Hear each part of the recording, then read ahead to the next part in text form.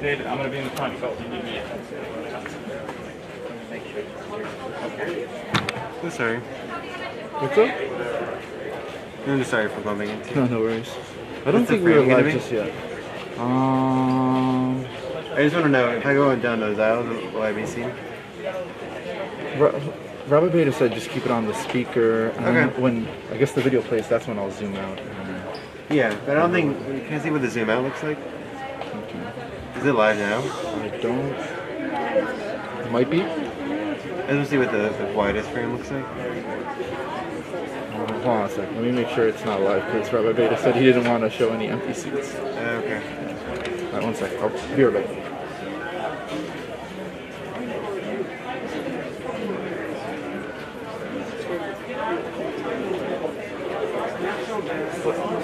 Uh, only when the video is playing, that's when I'll be zoomed out fully.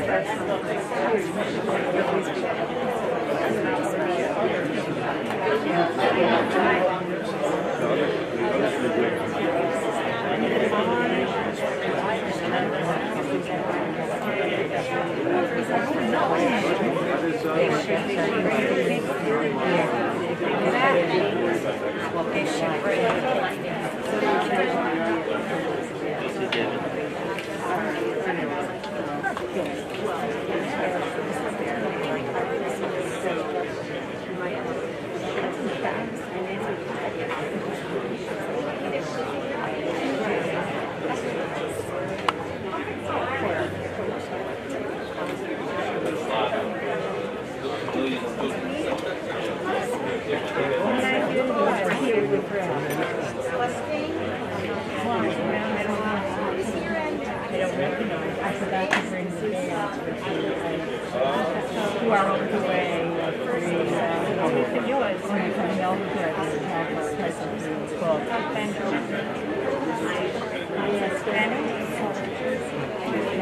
birthday,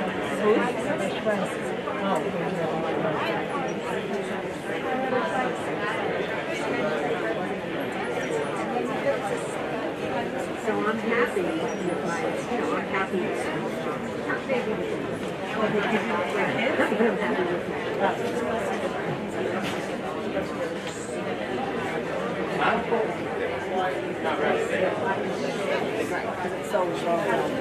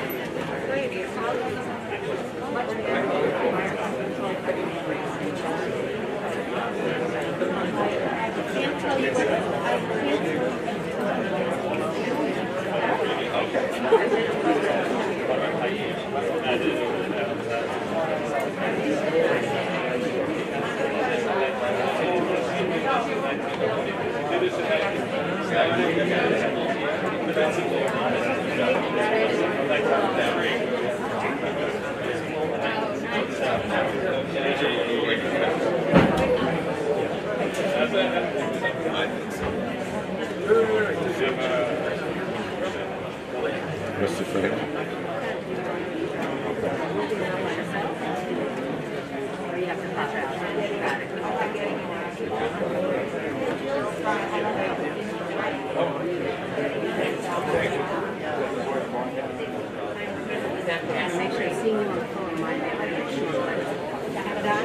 No, no, I wasn't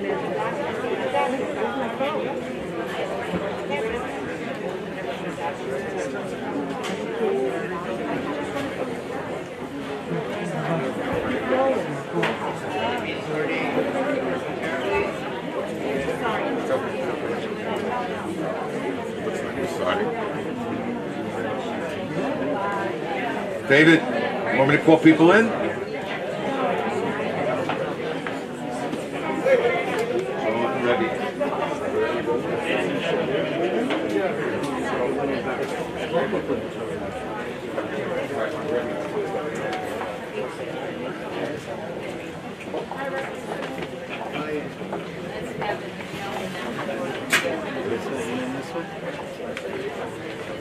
Ready.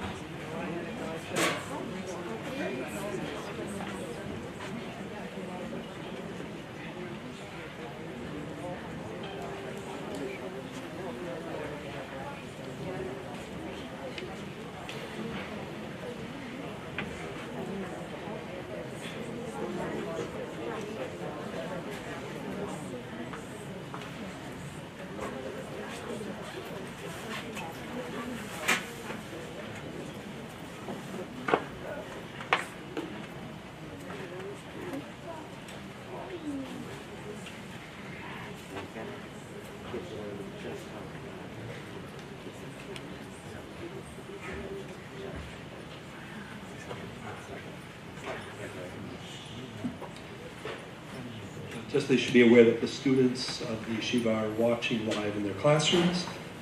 And uh, we know that they're very much part of everything that's happening here um, in this very special uh, venue. It seems very surreal to be here um, at the Levaya of Mori Chami, Rav Yisrael David ben Yaakov Yitzchak, Rabbi Dr. David Eliach. His patira is really a kriya she'enu misacha.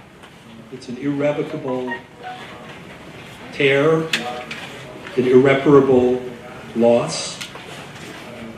Even though he was a very advanced age and very recently in failing health, and this moment was not completely unanticipated, such is the nature of the loss of an irreplaceable, very special individual, person who spans generations and who impacts generations.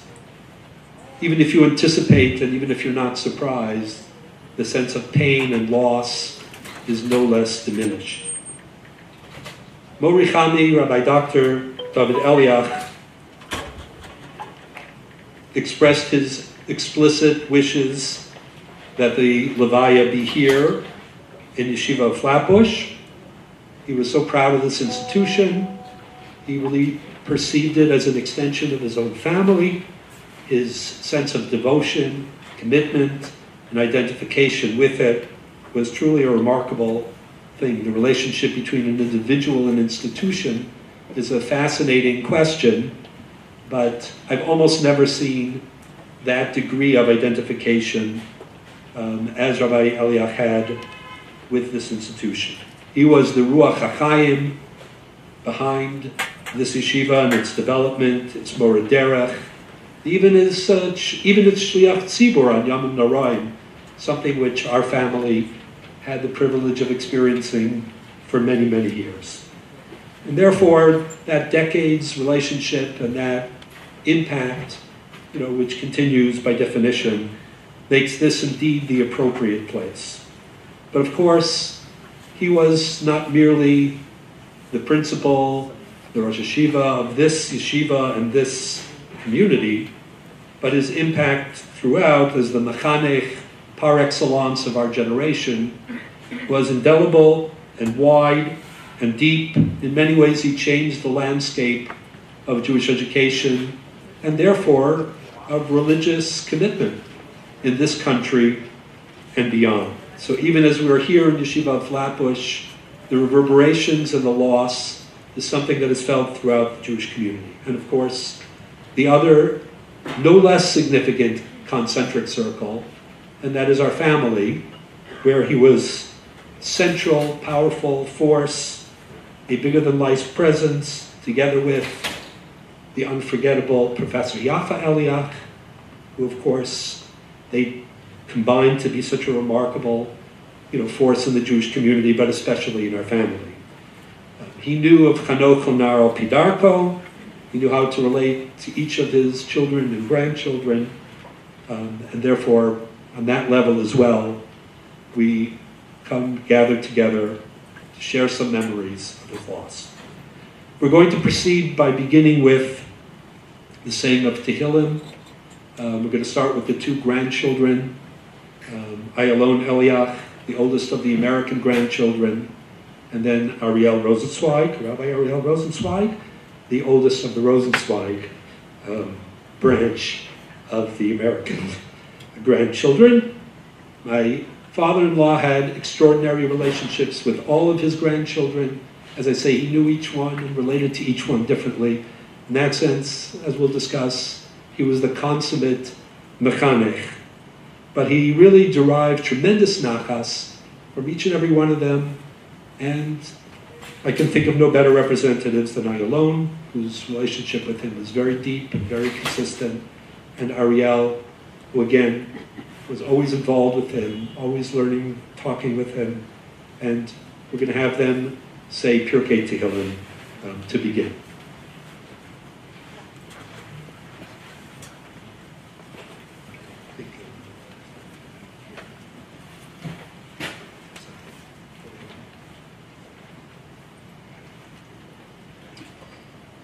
מכתם לדוד, שמרני אל כי חסיתי בך. אמרת לאדוני, אדוני אתה, טובתי בעל עליך, וקדושים אשר בארץ המה, באדירי כל חציבם. ירבו עצבותם אחר מהר. בא להסיך נזקיהם מדם, ובא לשרד שמותם על שפתי. אדוני מנת חלקי וכוסי, אתה תומיך גורלי. חבלים נפלו בי בנעימים, אף נחלת שפרה עליי. אברך את אדוני אשר יעצנו, אף לילות יסרוני חיליותיי. שביתי אדוני ונגדי תמיד, כי מימיני בל אמות. לכן שמח ליבי ויעגל כבודי. אף בשרי ישכון לבטח. כי לא תעזוב נפשי לשאול, לא תיתן חסידך לראות שחת. תודייני אורח חיים, סוב השמחות פניך, נעימות בימינך נצח.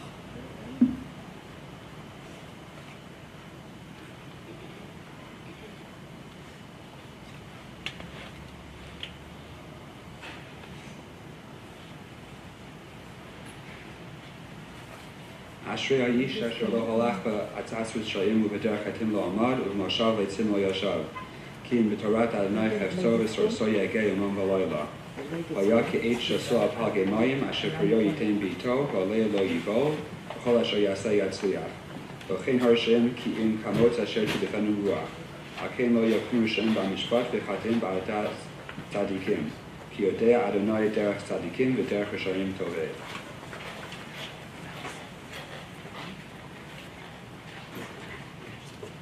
Rabbi Eliach was involved in so many different communities, and of course, also in the communities of his, of his children. So we'd like to ask um, to come forward some of the Rabbanim, representing, of course, all the others, myriads of them, with whom he interacted and had impact.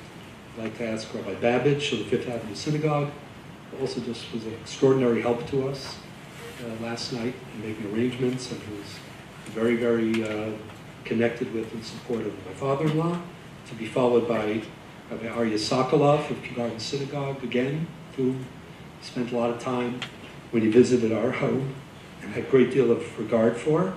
And then we're going to ask Rabbi Ari Berman, representing, president of Yeshiva University, representing the yeshiva.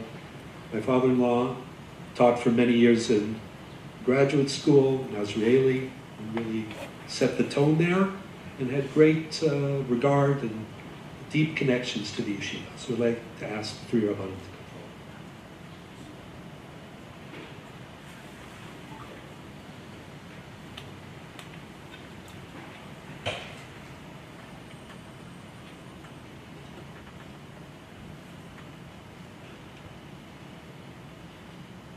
מזמור לדוד, אדוני רואי לא אחסר.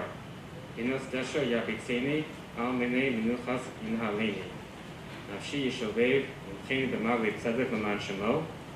גם כי אלך בגיא צלמוות, לא אירא רע, כי אתה עמדי, שבתך משענתך המה ינחמוני. תערוך לפני שולחן נגד צוררי, תשענת בשמן ראשי כוסי רביה, אך טוב וחסד ירדפוני כל ימי חיי, ישבתי בבית אדוני לאורך ימים.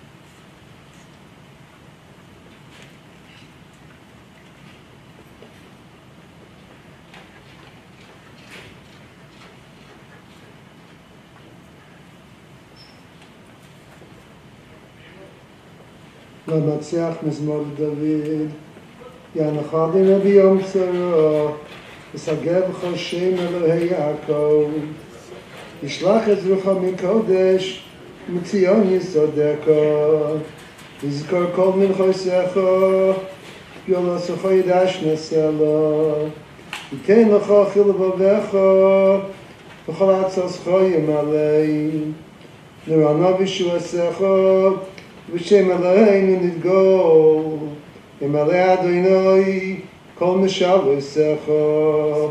עתו ידעתי, כי יושיע דיני משיחו, יענה משמי קודשו, וגברוס ישע ימינו. אלה ברכב, ואלה בסוסים, ואנחנו בשם אדוני אלוהינו נזכיר. הימו קרו ונפלו, ואנחנו קמנו בניסודות. אדוני יושיע, המלך יעננו ביום קראנו.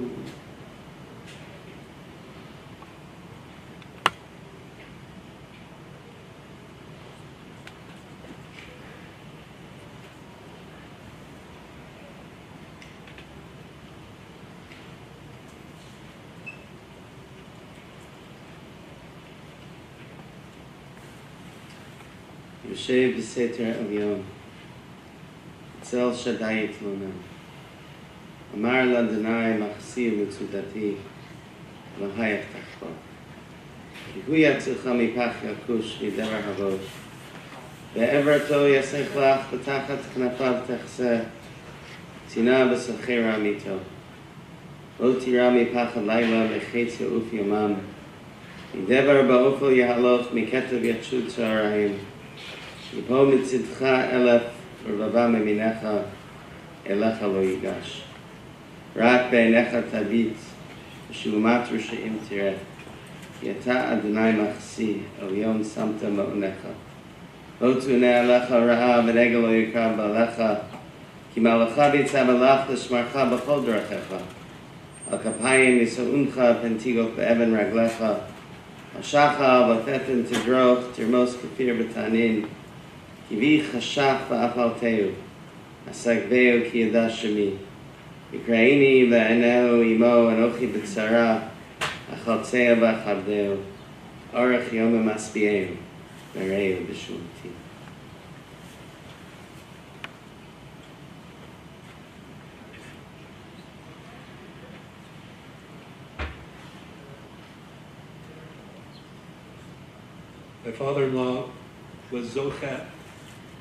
to fulfill the tzivui of the Shinantam Levanecha throughout his whole life in a extraordinarily maximalist way. And that always begins with what he would have called Pshuto Shal Pshat, the Shinantam Levanecha, to teach your children. Baruch Hashem, he was Zocher, all three of his children, the Tzion Shapiro of Eretz Israel, Rabbi Yotav Eliach, principal of Rambam, Professor Smadar Rosenzweig, Professor Stern College of Tanakh, that each and every one of them was a real talmid, maybe his best talmid. And from that point of view alone, his life is a tremendous success. We're now going to hear Divrei Hesped, first from Rabbi Yotav Eliach, who I guess is speaking from Eretz Israel. Rabbi Eliach, Rabbi Yotav Eliach, really pioneered so many programs teaching Zionism, Abbas Eretz Israel, things that he learned at his father and his mother's foot from the very earliest and youngest of age. He's in Eretz Yisrael right now and is going to be speaking to us through link. It will be followed by Professor Smadar Rosenzweig, who really learned you know, from both of her parents and had a lifelong, intense learning Tanakh, values, relationship, and also, as Yotav was, a wonderful son, Smadar, a wonderful, devoted daughter. We'll be hearing from them.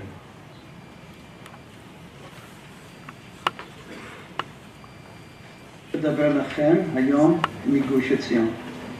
ראשית, עליי להודות לאחותי, פרופסור סמדר רוזנצוויג, שלימדה אותי ואת כל משפחתי מה זה קיום המצווה של כיבוד אב. שנית, עליי להודות לברניס, שעזרה לאבי מאז 2016, בחודשים האחרונים ממש טיפלה בו במסירות.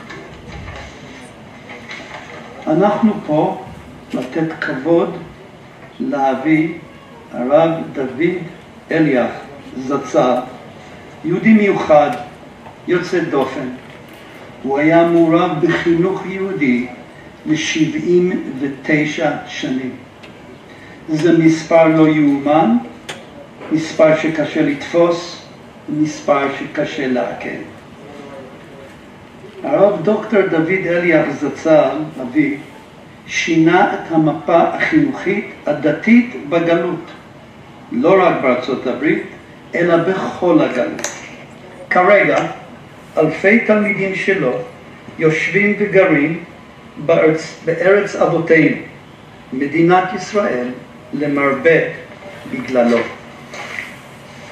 עשרות אלפי מתלמידיו חיים חיים מלא תוכן יהודי וציוני בכל העולם, למרבה בגללו.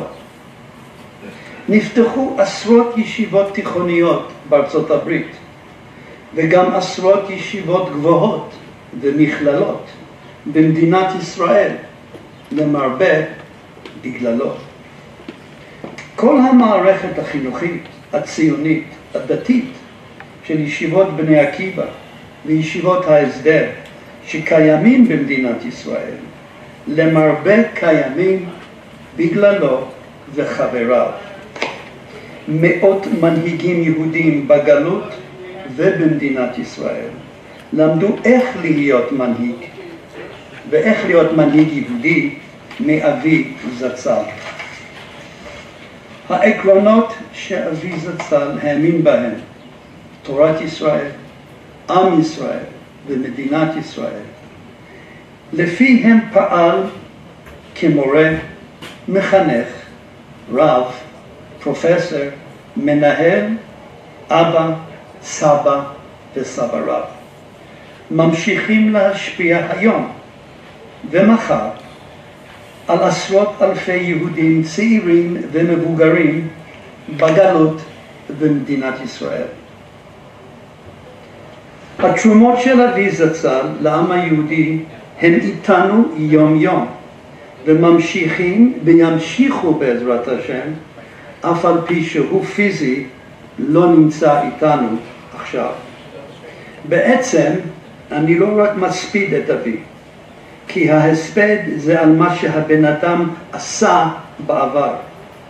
אני מספר לכם על התרומות של אבי זצ"ל שהיו וקיימים היום ובעזרת השם ימשיכו בעתיד בקרוב והרחוק להתקיים. מלבד הדמות הענקית שאבי היה לעם היהודי, הוא גם כן היה דמות ענקית כאבא, סבא וסבא רבא.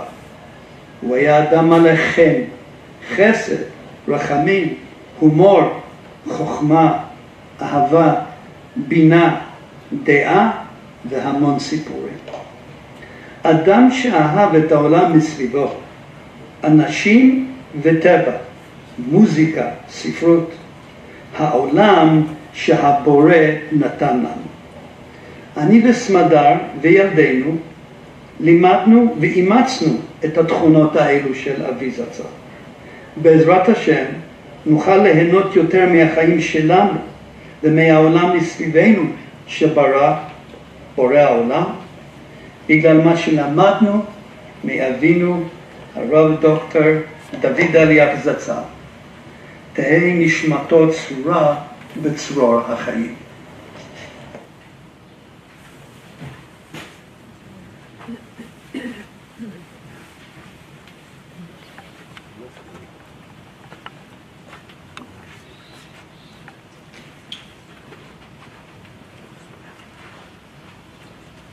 My father just celebrated his 99th birthday a little over a month ago.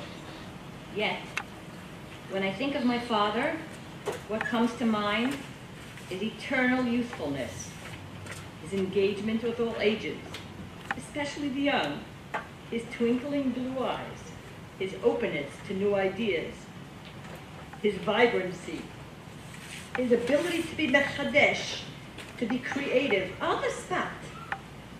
Open up Tanakh, he wants you to quote the Pasuk, and he wants you to know if you understand Pshuto Shel Pshat. No matter what you answered, you did not have the right answer. Because he always had the right answer. He understood the Pshat better. He's always youthful and optimistic. He is looking ahead to the future, towards the next project, always looking ahead to the next project. And he is always ready to give constructive criticism. I don't know if you know this, but he was a great storyteller, continental gentleman. He was mixed with Litvish and Hasidic soul. He was a wonderful shliach tzibur, and he loved to sing. He was a great cook. We called him Rav Cook. Double entendre, of course. He was a great raconteur. He loved big ideas, and he was larger than life. He was in the midst of working on his Chidushim of Torah when he passed away, which he termed Shuto Shel.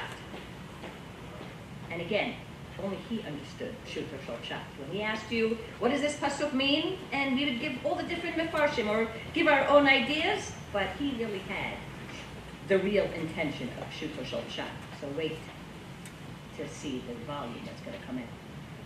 He loved Torah and the words of the Torah. So on the one hand, he was completely youthful, thinking ahead. On the other hand, my father had wisdom and the experience of a fully lived 99 years. He had a unique perspective which melded all the diverse experiences in his life Old World, Yerushalayim, Israel, and New York. Our children, his grandchildren, are also struck by this amazing fusion of youth and age. To us and everyone who knew him, he was ageless, and we are all tremendously saddened by his loss. Even though he was 99, he epitomized to us vigor and simchat chayim. On Simchat Torah, just a day before he was niftar, I was davening with him and singing the nigunim of the Hakafot, reading Kriyat Torah Simchat Torah, and we ended with the words, Ben mea ve'esrim shana b'moto, lo chahata ino v'lo nas lecho, ויבכו בני ישראל את משה בערבות מואב שלושים יום, וישמו ימי זכי אבל משה. ויהושע בן נון מלא רוח חוכמה, כי סמך משה את ידיו עליו, וישמעו אליו בני ישראל, ויעשו כאשר ציווה אדוני את משה. Moshe passed away at the age of 120 years, but he was still vigorous, and Bnei Israel cried and mourned him. And then Bnei Israel listened to Yoshua bin Nun, who was filled with wisdom because Moshe laid his hands upon him. It was so poignant that I was reading this to my father right before his passing. My father was vigorous like Moshe and was focused on leading a nation to the next level. My father, like Moshe in his time with his generation, was focused on crafting the next generation of the Jewish youth in Israel and America and around the world to love Torah, to love Jews, to love Israel, to be moral, and to affect tikkun olam. My father felt that he was creating the next generation of leaders. And just like Bnei Israel, I was crying when the vitality of such a colossal figure in my life was ebbing. And I said vidui with him. We are all crying for the loss of my father, even though you could say he's 99, it's his time. But it was not his time because he had so much more to give and was always transmitting that message. I want to say a few words in Hebrew. Like Yotav also spoke in Hebrew, you're always wondering, why are we speaking Hebrew? Because everyone knew his passion for Ivrit Ivrit and his love for the Hebrew language. Whenever alumni would speak to my father, especially the ones from a long time ago, they would always speak to him in Ivrit, and my kids would always marvel, marvel, why are they breaking their teeth speaking to him in Ivrit? They should speak to him in English. You don't speak to Rav Eliach in English, you speak to him in Hebrew. so I'm going to speak a little of Hebrew to him. לאבא וסבא היקר, איש האשכולות, אבא מיוחד במינו, נצר מקרלין סטולין, ללוב יליד ירושלים, שהחדיר בנו אהבת התורה, העם והארץ. אבא אוהב, חושב, רגיש ומעשי. למדנו תורה ביחד, טיילנו ביחד, שוחחנו ביחד, חקרנו אמונות ודעות ביחד, וענייני תרבות ביחד.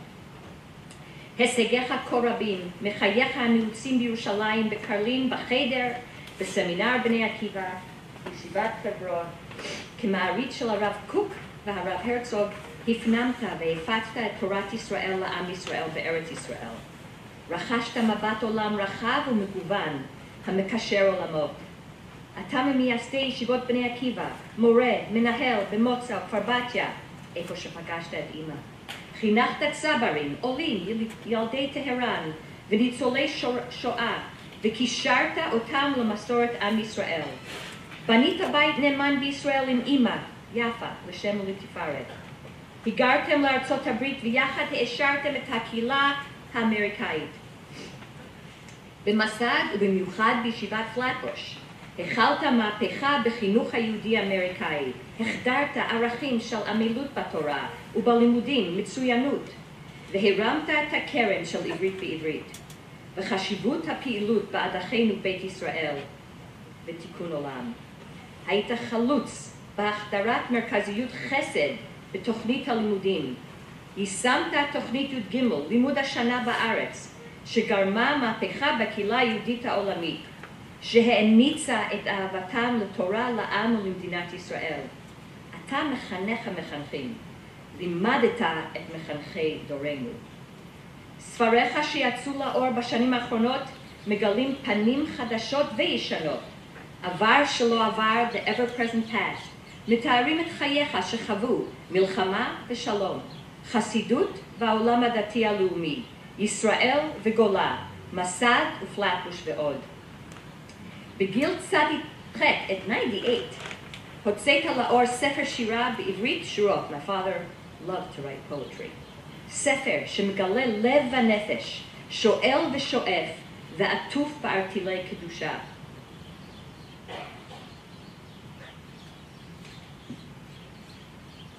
Abba, you had a huge impact. It's hard for me to speak about him in the past. You had a huge impact on our lives and on our children's lives, your grandchildren and great grandchildren. We all learned so much from you, but mostly we loved spending time with you and feeling that love through your pride in all of us. It was a marvel to see how you connected with each grandfather, each grandchild, through your loving, probing questions. Saba always had questions for everybody, and you had to answer them. And finally, I am privileged to be your daughter.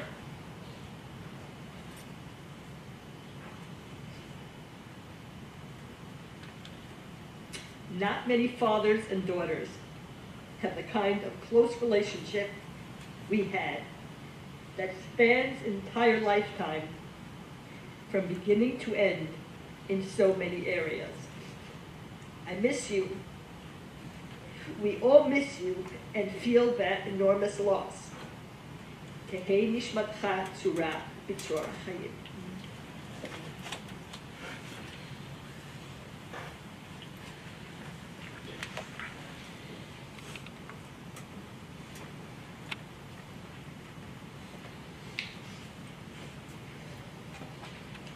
Say at the outset we didn't coordinate. But it's not so surprising. Coordinated. Od Yunuvun de Seva, de Shenim Rananim Yiyu. Pasuk says in Tehillim. Bracha, someone grows old, reaches advanced age, and continues to be fresh and creative and dynamic. Lahagid ki yashar Hashem. This itself is a testament to the greatness, to the perfection, and to the deep faith that one has in the Rebbe Shalom. This pasuk, puzzling, enigmatic conclusion of a ubiquitous mizmar, mizmar Shili Yom HaShabbos.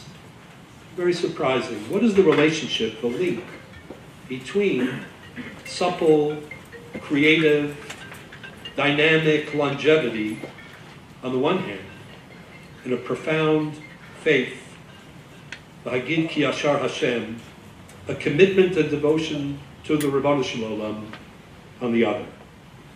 And yet, this pasuk typifies, embodies Morichami, my father-in-law, Rav Dr. Israel David Eliach. It really goes to the core of who he was. Moshe Rabbeinu's departure, as Professor Smadar Rosensweig just indicated, from leadership, from the world, the seal of the Torah itself that we just read the other day, echoes this very theme. The greatest and most flexible leader of the Jewish people, and the one who for all times is the greatest. The Adon Hanaviim, Moshe Rabbeinu, the Eved Hashem, is depicted in the final words of the Torah alongside the obvious, stunning achievements. Lokam Naviv Od Yisrael Kimoshe, Asher Yida'o Hashem Panim El Panim, L'kol Usos V'Amotsim, Asher Shalchu Hashem La'asos Be'eretz Mitzrayim. But all of this is introduced with the apparently more trivial description Smadar spoke of. Lo chasa eino lo nas lecho. Focusing on how remarkably Moshe Rabbeinu remained active, robust, fresh, engaged, even in his advancing years. And the question is why? How can these two aspects of Moshe's personality, one seemingly just trivial, physical, just a fact, and the other, of course, going to the core of his spiritual persona, how could they be connected? But of course, Chazal refer to the spiritual contribution that continued to be robust. robust. Lo nistimu mayanosa v'torosa. But as my father-in-law would have remarked, you can't ignore pshuto shel either. Certainly, the Torah also means to say that he was physically engaged, that he was optimistic, that he was supple, that he was creative. But the capacity to remain idealistic and engaged and passionate about the world and its purpose, to be involved and impressed with beauty and poetry, and especially with the endlessly fascinating content and values of Torah itself, hafochba, hafochba, dekulaba, is not peripheral or coincidental. The ability to maintain that kind of enthusiasm and focus underscores a clarity of perspective, unflagging faith in and enthusiasm for Torah Hashem, the Word of God that inspires, that reflects profound commitment, deep conviction, and deep belief. Moshe Rabbeinu's continued engagement and creativity bespoke his whole personality and his whole career. He was imbued with these rare qualities because these rare qualities are rooted in that perspective. One who advances in years has experienced so much joy and sorrow, adventure, puzzlement. Shlomo Melech, in the Koheles that we just read, formulates all of the problems. You can become fatigued with life, confused with its purpose, and in some cases you can become, tend to become, jaded, cynical, or simply exhausted with life and the search for meaning. Abel Habalim Hakol Haba. But there are those rare Skanim who are Rananim and Deshenim, that Lonas Lecho, that continues to be fascinated by and creative with their understanding because it's rooted in Sof Dabar Akol Nishma Telokim Yira Et Mitzvotav Shemor, the recognition Kizeh Kol Ha'adam, the Torah, commitment to Torah, the study of Torah, transmitting Torah, is what is important. These individuals are a special breed. They have special insight and special stature. Lahagid ki yashar Hashem, suri v'lo avlasabo. A person who really is deshenim v'rananim at an advanced age is someone who, by definition, has that sense of clarity and purpose and commitment and that deep belief in the Rabbanu Shalom. This quality of Moshe Rabbeinu, Lo Naslecho, was the key not only to his longevity, but to his unsurpassed stature, from the very beginning to the end. My father-in-law's stunning attainments in Zikna, many of which were already referred to, reflects his range and especially his relentless passion for Torah and for Abbas Hashem. Avar Shalo Avar, the ever-present past, Zachor Yemot Olam Binu Shno Stor Vador, she wrote the poetry, Kitvu Lachem Es Hashira Hazos, an appreciation that is rare for the aesthetic, for the gnomic, even for the transcendental, Pshuto Pshat, an endless fascination with Tanakh, with Ivrit, with Parshanut, as Smadar said, in his own particular way. The mentoring of teachers in methodology here at Yeshiva Flatbush, all of these drew upon his earliest experiences and interests. Karlin Chassidut, the years in Yeshivat Hebron, leadership in the movement of Bnei Akiva, but they also are reflected the culmination of a life of achievement and education anchored in deep emuna and avas Torah, indeed, avas Hashem. The ability to harness his varied background in an ever-changing, supple, creative way in chinuch made him simply the mechanech hador in terms of methodology and guidance in teaching. He was both pleitat sofrehem, as Rav Soloveitchik Zechron Bracha said about his Rebbe, or Chaim Heller, in a hesped, an individual who experienced the Gedolin and the values of the previous generation, who bridged them, transmitted them, but also reformulated them when it was appropriate. Avar shalom avar, from one era to another. Anybody who saw the recently published piece in Ami magazine, where he speaks about his experiences with yesterday's Gedolin, knows what I mean. But also the most innovative and restless educator of our time. Tachnit Yud Gimel, that pioneering program which revolutionized the trajectory of diaspora Jewry that Rav Yotav referred to, Ivrit B'Ivrit, the many other innovations that were applied here in Yeshiva of Flatbush, and from that laboratory to the rest of the Chinuch world, as Rabbi Eliach would recall with great pride and with great satisfaction. All of these revolutionized the, trans, the trajectory of diaspora Jewry in a very big way. And simply the endless wellspring of projects and ideas, how to teach ancient, profound, immutable values in a changing world was something to behold. Baruch HaMakom Baruch Hu, Keneged Arba Banim Dibra Torah, Reb Chaim Soloveitchik famously explained, refers to the remarkable capacity of Torah itself to be relevant to all levels. How can the same text be relevant and be a foundation for a Chacham, for a Rasha, for a Tam, and an Any Odeh It's not a human text, it's supernatural. But one might add that Mori Chami was remarkable in his capacity to provide didactic guidance to teaching at all levels and in a wide range of social and cultural milieu.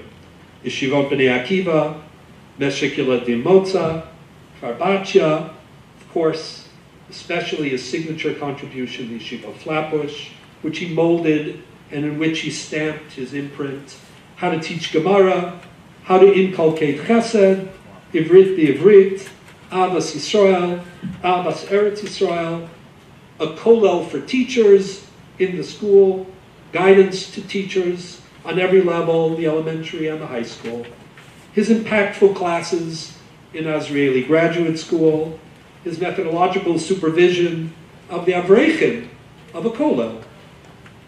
We in the kollel Elyon Yeshivas Rabbeinu Yitzchak had the schus two years ago, right before COVID, of an insightful lecture, how to teach Tanakh as a source of emunah in the modern era at the age of 96.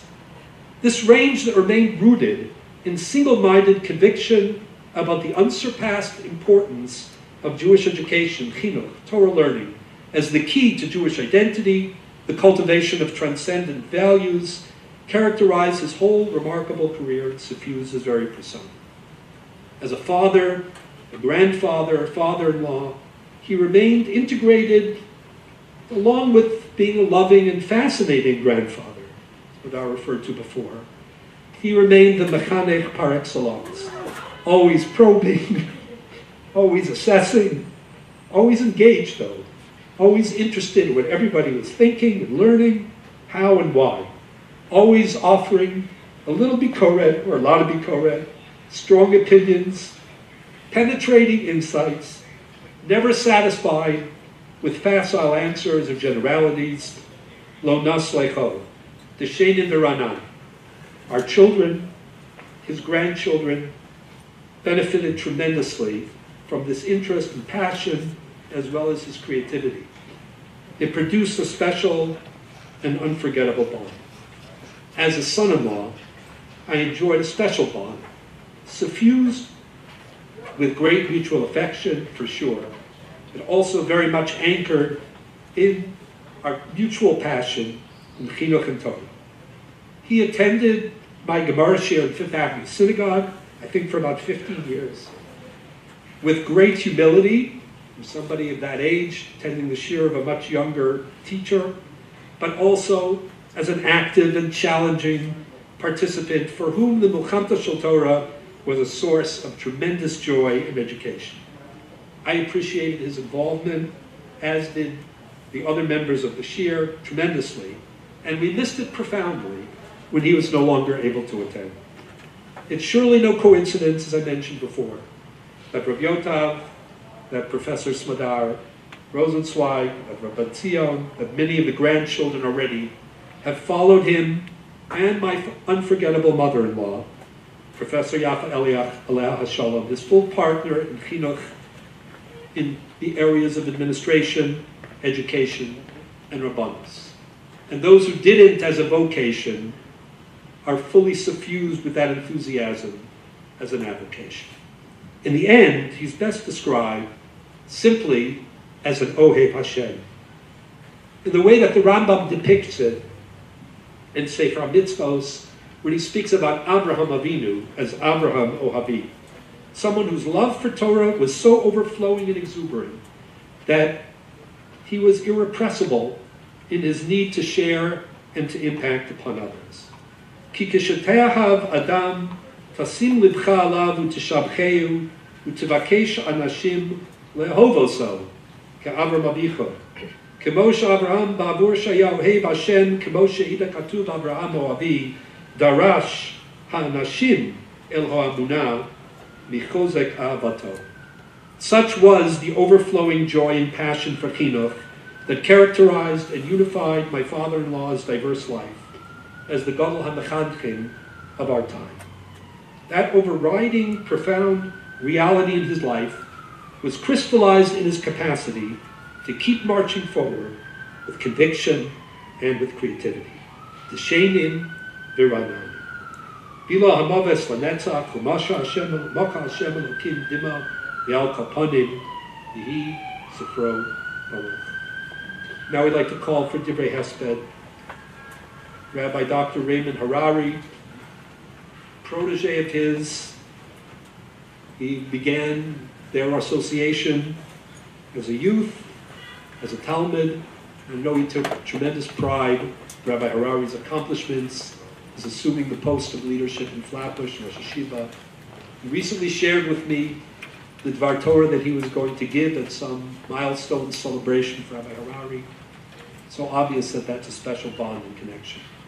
After that, Mr. A.B. Hinnery, president of Yeshiva Flatbush, will speak for a couple of moments, and I believe introduced Mr. Steve Aylesberg, was also a decades-long student and somebody whose bond with my father-in-law was really belev ubenefesh, sense of devotion and deep bond, which the family deeply appreciates, which my father-in-law really treasured.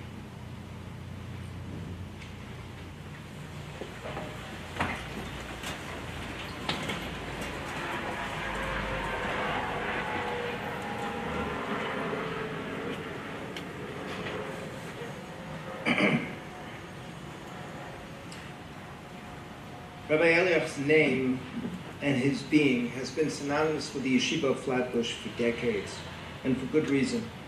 He lived in the yeshiva and for the yeshiva. He directed the educational program at the yeshiva in its very formative and sometimes turbulent years.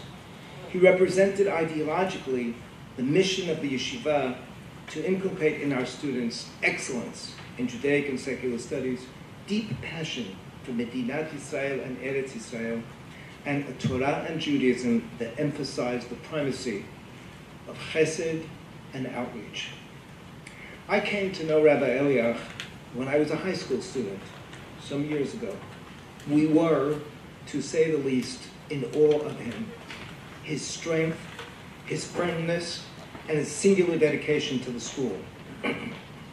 In my senior year, we were fortunate to have Rabbi Eliach teach our class, our Humash class. We had never really learned Humash in the creative way that he did. with a pshat orientation, which has been spoken about, one which he cultivated and was writing about until his last days. And then, during that senior year, Rabbi Eliach took ill. The doctors struggled to figure out what had stricken him, only much later to attribute the illness that had had him home for weeks and for months to a disease generated by mold in his office. Significantly, and this is the point, even when he was ill and he was bedridden, he used to prepare tapes for us, his students, and send them and have a monitor make sure that we were learning even when he was away. This was not the first or last time that Rabbi Eliach exemplified for me and for countless others an uncanny work ethic, nourished by his love of Torah and his dedication to share it with his students. Over the years, Rabbi Eliach taught us that even if one student showed up to class, he or she deserved to be taught. He taught by example, as he always did, that a mental health day is spent in the yeshiva teaching and interacting with students. When I began teaching at the yeshiva, I got to appreciate, Rabbi Eliach as a master pedagogue. For him, it was unconscionable for a teacher to come unprepared to class or not to have worked out lesson plans beforehand. Unconscionable. He couldn't understand it. A lesson had to be motivational, engaging, mapped out on the board, and contain a beginning, a middle, an end. His core belief was that the lesson had to be relevant to the students. But for him, that didn't mean to dumb down the lesson, has v'shalom. He wouldn't even understand what I was talking about. But rather to meet the students where they were and elevate them in accordance with their capacity. Rabbi Eliach was courageous and he was direct. In those ways, he taught many of us to aspire to be great teachers. He was not afraid to point out weaknesses of a lesson or of a program. But at the same time, he lavished praise when it was appropriate. In about my fifth or sixth year of teaching here in the yeshiva, I remember Rabbi Eliach brought five six, or six teachers to observe my Jewish history lesson about the revolt of Bar Kokhba. I was, to say the least, anxious. Afterwards, in his unique manner, he analyzed the lesson with teachers and with me, and then at the end, he concluded uncharacteristically, I have nothing to add. that was a first for me. No greater compliment could be had.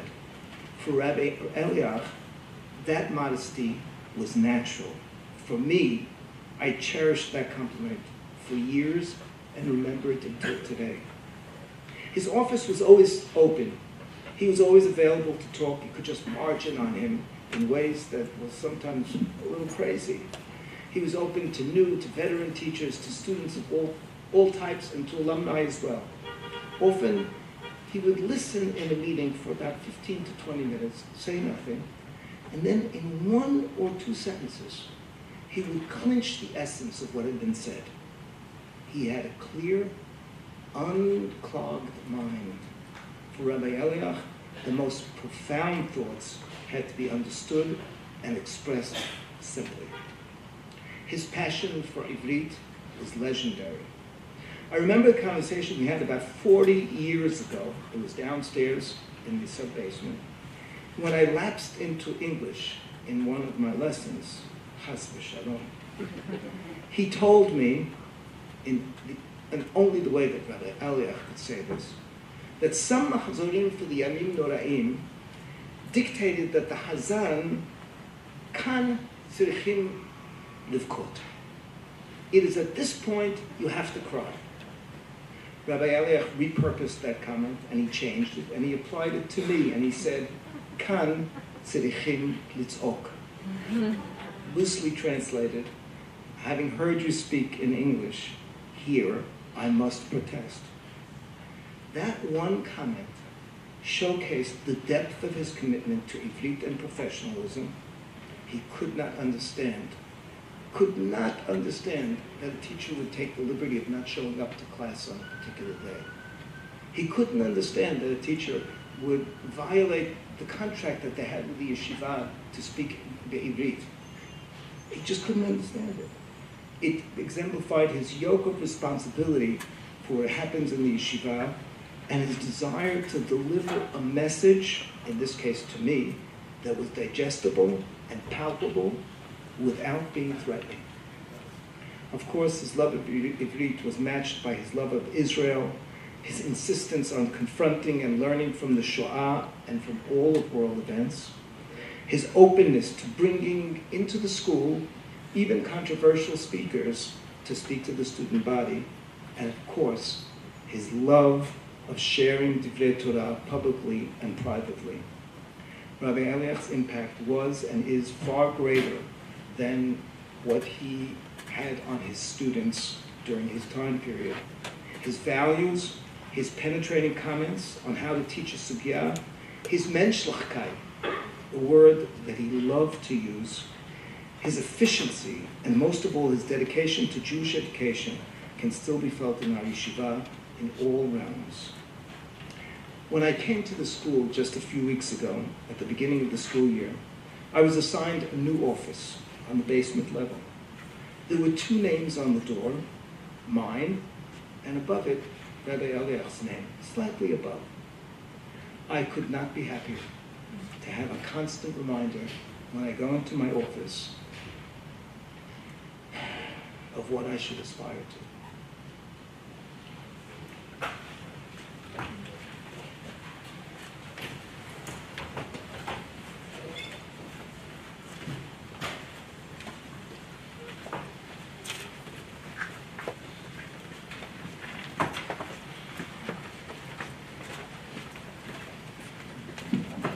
On behalf of the Board of Trustees, parent body, the alumni of the Yeshiva Flatbush, I'd like to offer condolences to Rabbi Eliach Zatzel's family.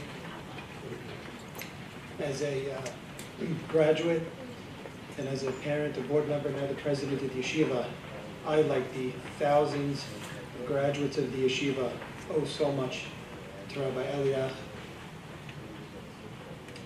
After learning a developing a love of Torah, love of Eretz Israel as a student. I went on to study in Israel, and I attended Yeshiva University, neither of which I would have done without the influence and the path set by Rabbi Eliyahu. It was the rabbi's love, his caring demeanor, his warmth, his patience, um, his vision, and his wisdom that was a model for our teachers, for our administrators, and as was said, spread to schools and yeshivot all over the country, and indeed all over the world, including Eretz Israel. I'd like to ask Mr. Steve Adelsberg to come say a few words. Steve is a trustee of the yeshiva, president 2000 to 2004, and remained very close with Rabbi Ali.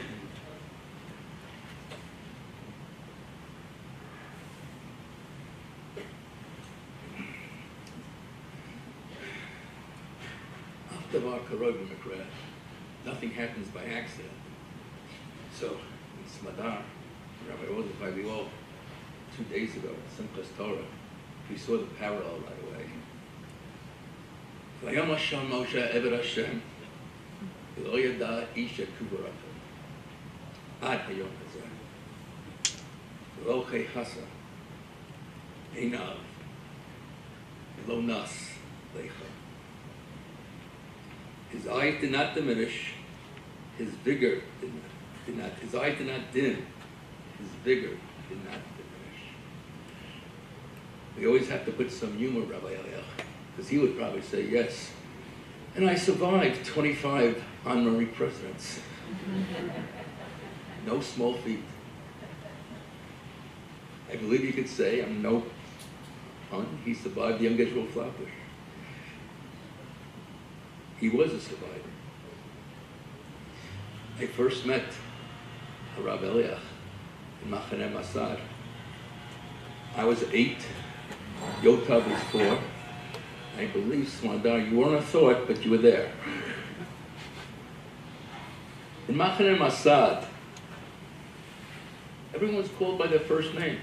The head of the camp, was Shlomo Shulsinger. You called him Shlomo. The Rav Machaneh was Harav Chavetzelet. You called him mayor. There was a head of Machon. His name was Amno. Later on, I learned that was Rabbi Haramata. His wife, there was no Mrs. Haramata, it was Dina. But there was only Rabbi Eliach. My memory of Rabbi Eliach, the vision, not changed from 1960 to 2022. He called me just two months ago on the eve of his 99th birthday. And he said, Steve, I think I have to retire. well, Rabbi, I think we could stop. I guess uh, you don't have to take Accessoride anymore to school. We stopped that farm 20 years ago. It started our relationship, and it's so true. He's not someone you talk to English to. It's that simple. Udibati muditito, rati bati. Afreshi bartito, and yamatilo nitzurich rofe shinayim. But that was okay.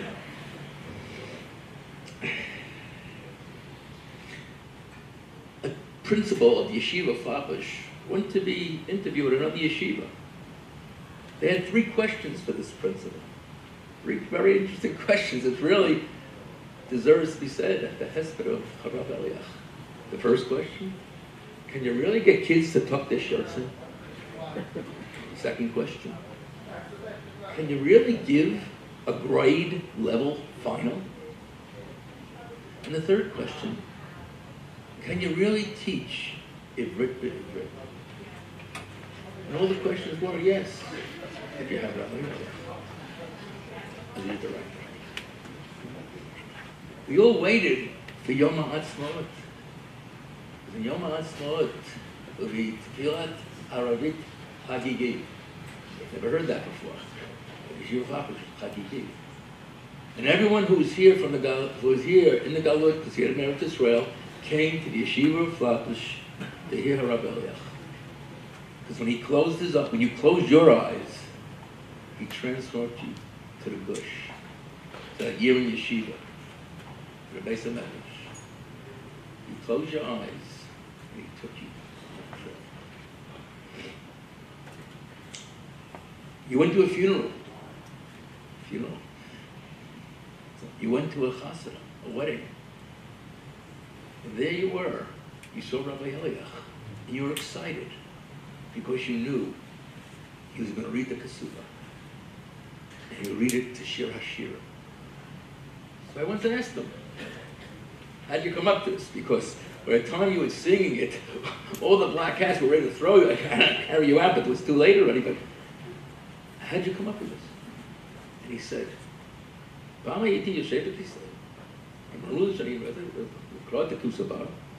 I was bored, so let me spice it up a little. When he read the Kasuba, the woman here could tell you sure, not one woman's mascara didn't run, didn't cry, because the chuppah you look up, the Shemayim would open from the words of Rabbi Eliach. 21 presidents he worked with. We all had the same advantage. We didn't have to give him advice. We just had to keep the parent body away from him. because if he did his decisions, the Chanech, Hanar, Alpi, Darko, and everyone had a different, understand the words. Everyone had a different derech. He would teach Rabbi Prague would tell me that when a student was leaving yeshiva, because it wasn't for him, but he had to pass his courses, Rabbi Eliach would teach Rabbi Prague, make it easy for him. Let him leave with a good feeling on himself. And yet, someone like Rabbi Harari would come up to him and say, and, and talk English, he would give him a look. No, no, no, no. Enough of it.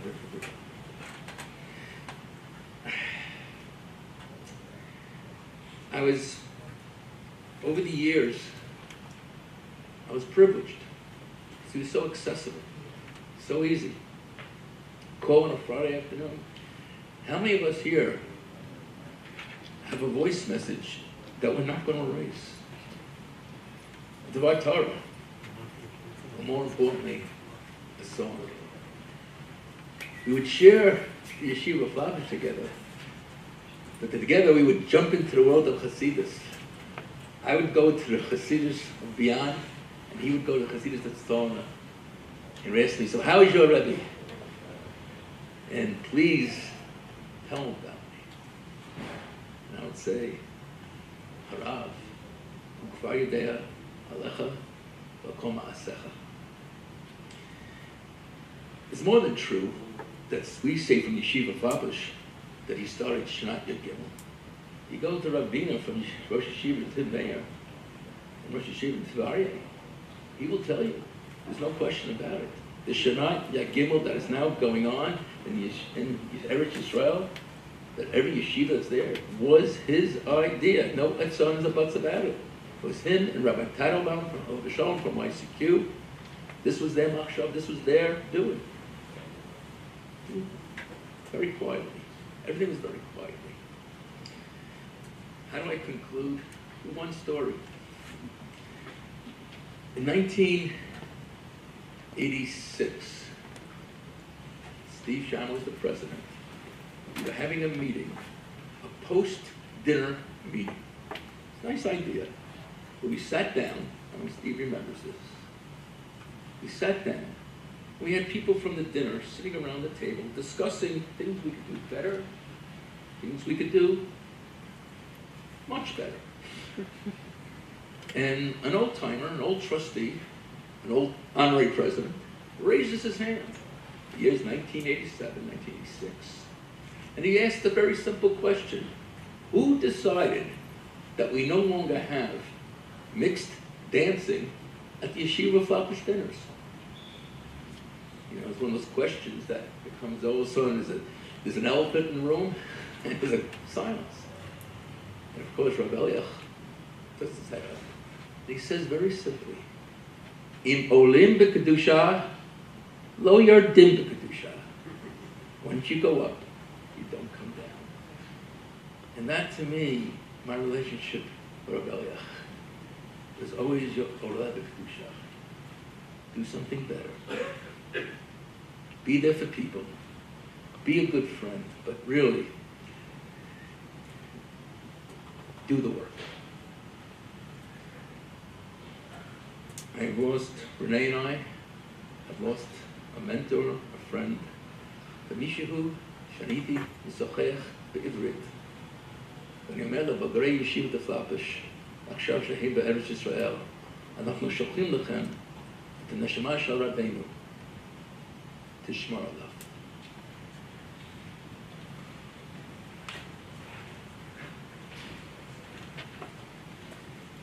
We'll conclude the Divrei Hesped with the words of two of the grandchildren. As I mentioned before, Rabbi Eliach was deeply involved, engaged, and very proud of all of his grandchildren. You know, it sounds like a cliche, but it's really true. And uh, he really knew each one, valued each one for who they were. Kanoch, Nar, Pidarka. So it's fitting, certainly, that we conclude the Divrei Hesped with words from um, Liam Eliach, representing the Eliach side of the family, and then Rab Itamar Rosenzweig, representing the Rosenzweigs. After that, Rabbi Joseph Beyda, who was the head of school, and who told me before how he came here as, a, again, a close talmid of my father-in-law from his time teaching Avrechim in the Kollel, uh, Legra Franco. Uh, will make a few announcements, and that will be followed by Kel Mali by another protege, another very deeply close talmid, Rabbi Ronald Levy, who will say the calling Kel Mali Rachanim.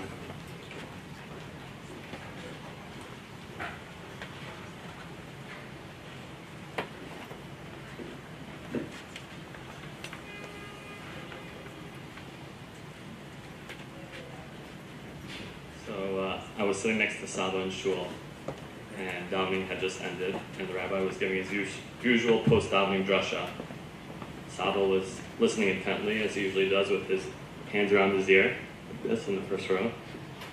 And he, he turns to me after the speech, but instead of the usual, Liam, lo shamati af milah, mahu amar, Liam, I didn't hear one word. What did he say? He said the following, Liam, lo shamati af milah. Uh, I didn't hear one word, but you know what I would do with the speech? Very curious about what he could possibly do with the speech he didn't actually hear. I said, What Saba, what would you do?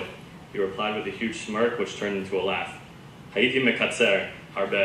I would make it shorter, a lot shorter. So I think this is what he would have wanted. If there's anything I learned from public speaking from Sabbaths, to start with a joke, capture an idea or two, and make it short and to the point. To me, Saba was a grandfather and a grand storyteller. He was a storyteller extraordinaire.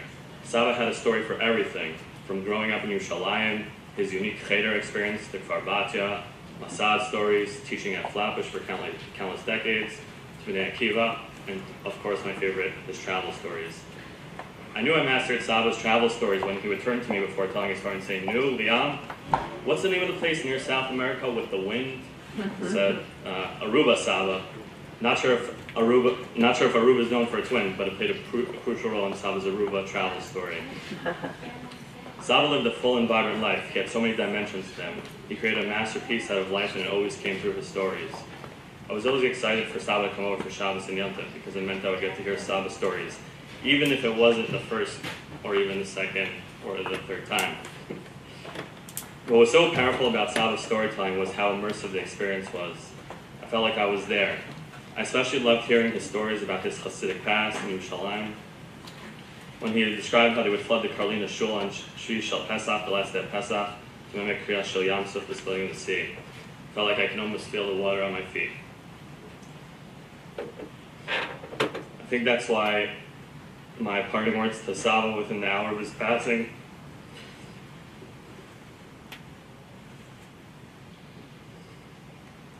was the Karlina Big Nigan Sof.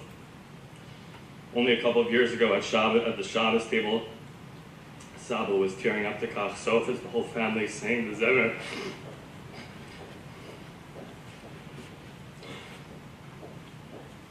And that was me barely getting to the words as I watched I watched Saba peacefully enter the Nar HaYotzamed and it was a very powerful moment seeing singing Tatsov to Saba. And it was a perfect way to say goodbye to our Saba. Tia Nishmatos Ram B'Tzrada. Amen.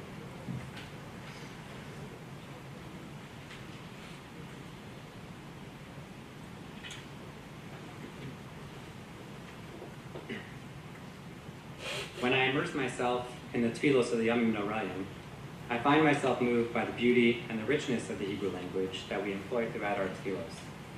Whether it's the exquisite description of the Divine Academy administering justice during the Sana Tokef, or the vivid depiction of the Kohen Gadol in the courtyard of the Beis Hamikdash, or just the versatility of the words, or the measured meter of the verse, the Hebrew language has a special power to move us. Throughout our tefillos, we draw attention, we emphasize, the exceptional character of the language we employ. The Shliach Tzibor in Ochila La'el, he exclaims, La'adam marche lev. What can a man do but arrange his emotions? But me Hashem man el Eloquent speech is a godly gift. And before every Chazar Sashatz on the Yom Norayim, the Shliach Tzibor begins, Misod chachamim u'nivonim, u'milemed das nevinim.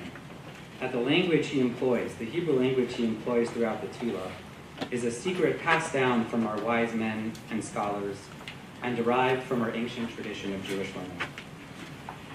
Saba not only breathed life and special meaning into these words as our Shliach Tzibor on the Yamin Orayim, which he led cloaked in his talus with great poise here at the Yeshiva of Flatbush, but throughout the year to converse with Saba was to engage with the elegance and power of the Hebrew language in its full splendor as they sod chacham unevonim and a das a language passed down from our wise men and scholars and derived from our ancient tradition of learning. Any conversation with Saba was peppered with Tanakh, Mishnah, Agada, plays on Hebrew words, and Hebrew poetry. In Saba, the eloquence of the Hebrew language came alive. For as long as I can remember, an Arab Shabbos hardly passed in the Rosenzweig house, where Saba's voice wasn't heard over the speakerphone, reading to Ima the latest poetry that he composed, exploring in his beautiful Hebrew verse themes that touched his mind and soul. At the time, I would have said that Saba was reading Shira, but now we know that he was reading Shura. Few people on this side of the Atlantic appreciated the Hebrew language and its Masorah as Saba did. No one did more to ensure that American Jewry would be literate, if not conversant in its true language, than Saba did. Saba pioneered the Ivrit Ivrit movement in Jewish day schools, and he held his family to the same exacting standards, insisting on speaking to us only in Hebrew. When I was a young child, maybe a few days into my first grade, Saba pulled me aside and asked, Itamar, vini brit? I knew just enough Hebrew at the time to answer lo, and to get the gist of the phrase that he uttered to my parents.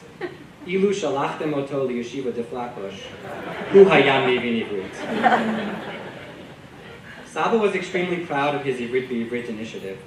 He would tell the story that upon visiting Israel, after he had moved to the United States, he met Nechama Leibowitz at some conference, and she said to him in his recounting, David, what are you doing in Chutz La'aretz? You belong here with us in Eretz Yisrael. Saba related to her his story that before he came to the United States, he asked Rav Herzog what should he do. Rav Herzog told him, better to go to America and think all the time about Eretz Yisrael than to stay in Eretz Yisrael and always think about America. Nechama Leibowitz didn't buy the justification. But she said, David, I hear that you instituted Ivrit Ivrit in America. That's a partial consolation. I don't think Saba needed a consolation, and he certainly didn't need a partial consolation. Saba was super proud of what he accomplished here in the United States.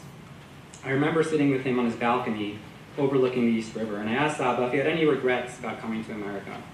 And without batting an eyelash and looking at me with his clear blue eyes, he said, I would not have accomplished everything that I was able to accomplish here had I stayed in Israel. I suppose, as the Rambam does in Moreh Nevuchim, that part of mastering a language is knowing when not to employ it. I went with Saba about nine years ago to Israel on a trip, just the two of us. And we were in Tveria, and Saba was feeling uh, slightly ill. And Saba was of the opinion at the time that if you wanted adequate health care in Israel, you had to present yourself as an American. so we went to the doctor, and Saba, in his heavily accented Yerushalmi English, begins to explain to the doctor, in broken English, what his ailment was. In the middle, he turned to me and said, uh, Itamar,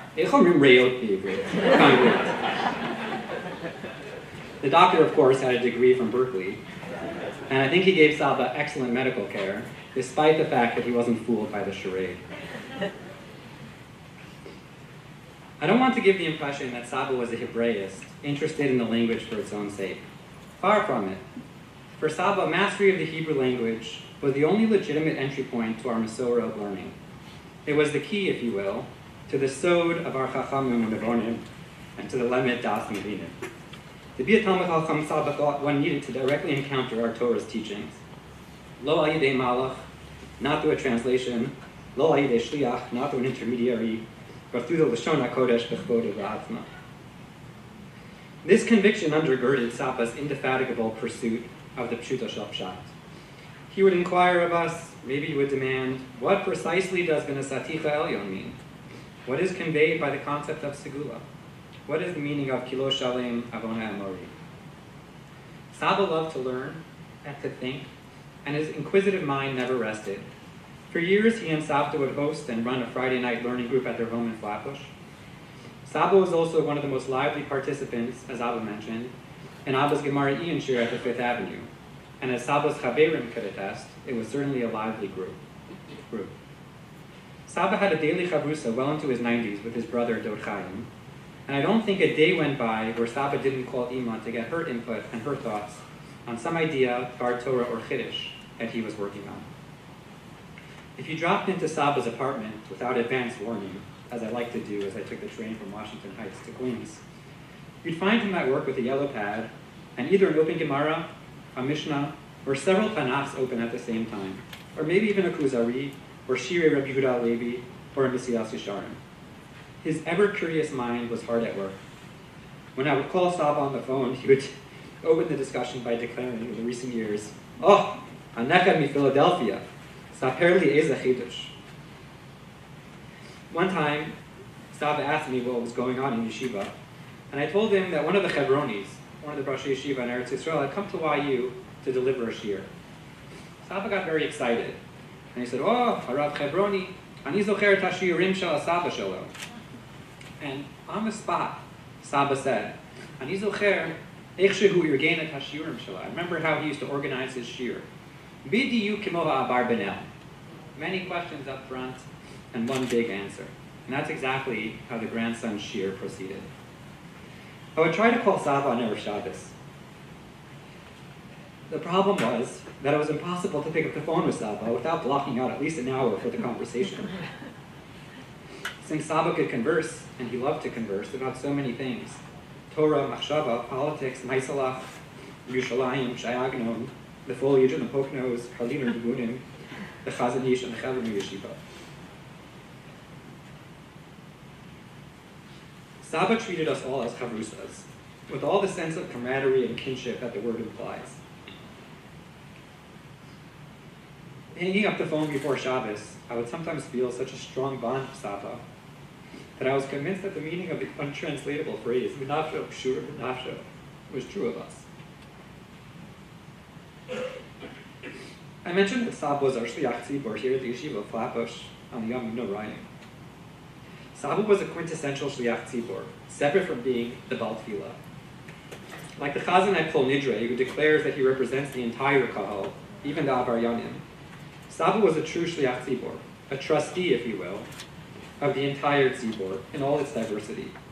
He treated each member of his Tzibor with equal solemnity and respect, and the diversity of his Talmidim, in which in whom he took so much pride, attests to this point.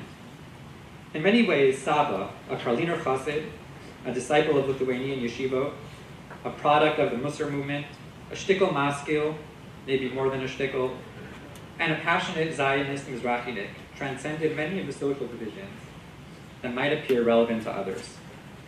I once delivered a shiur in Englewood, and one of the attendees came because she heard that I was a grandson of Rabbi Eliach. She told me that she couldn't believe her ears that Rabbi Eliach's grandson read Hebrew, the Havara Ashkenazis. The truth is that Saba himself would daven Bahavara Ashkenazis, because that was his upbringing in the Karliner Cheder. But when he would learn the Haftorah, which he learned after he transferred to a Mizrahi school, he would learn Bahavara Sfarazi. The tefillos of the Yom Noraim have just concluded, and our great Shliach Tzibor has departed along with them. Yet he is once again cloaked in his talis, ready to lead his tzibur. And even if we don't hear his voice of Al Mahadin in this world, he continues to daven for us and to lead us there in the Almadasi.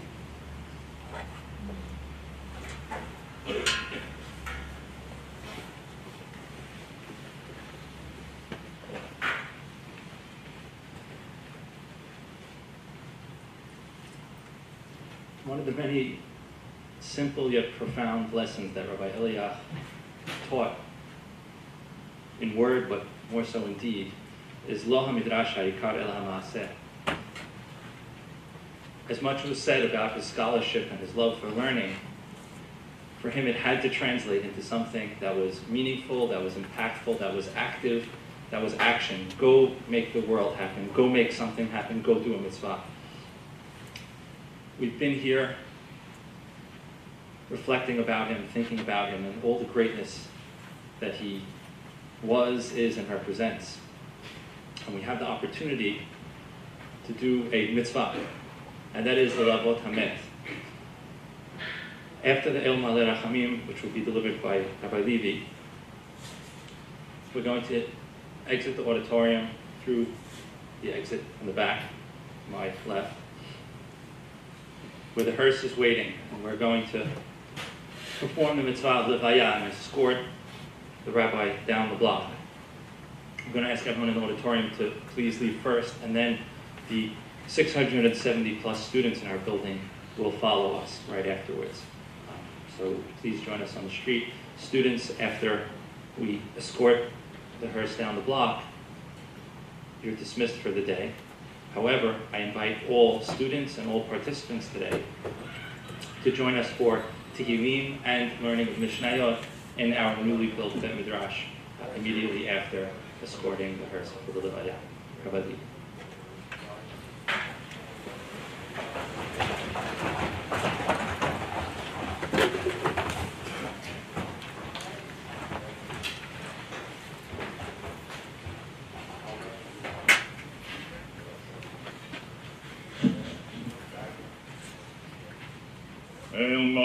Montgomery.